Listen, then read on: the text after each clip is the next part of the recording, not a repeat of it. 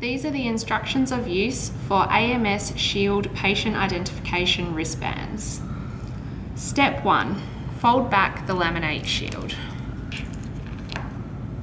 Step 2. Stick the patient label on the band, ensuring it is in the centre and not near the edges.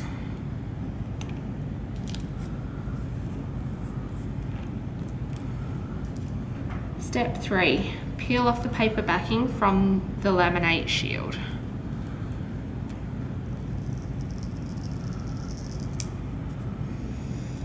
Step 4. Press the laminate shield to the band. This will then make the band waterproof and ready for the patient to wear.